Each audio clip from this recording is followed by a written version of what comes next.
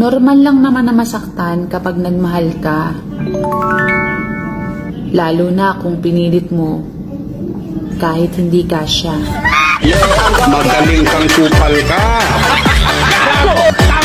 Inutil! Tarantado! Dalawang beses na yan!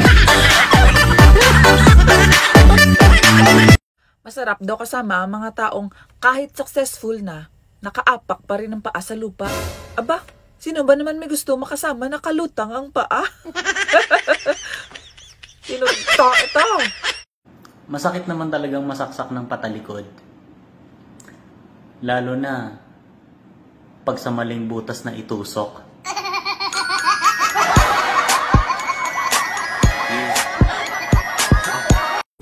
Kung mukha man akong inidoro, okay lang. At least ikaw yung laman.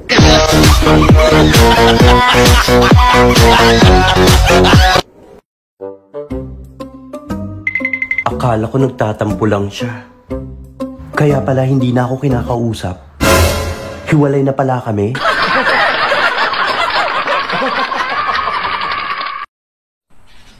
May bagoong ako. Yung talong mo na lang ang kailangan.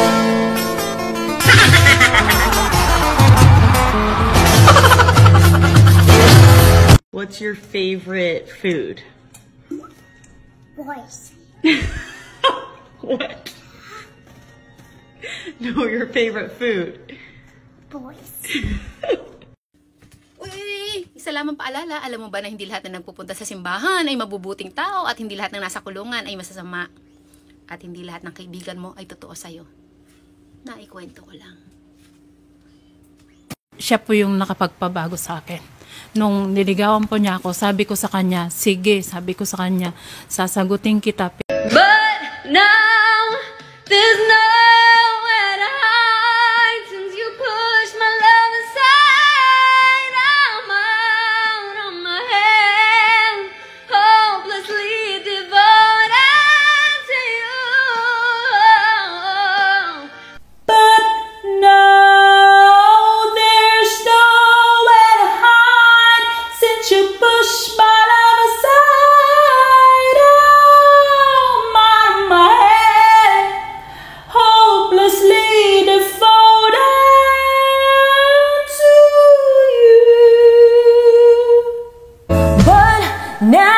there.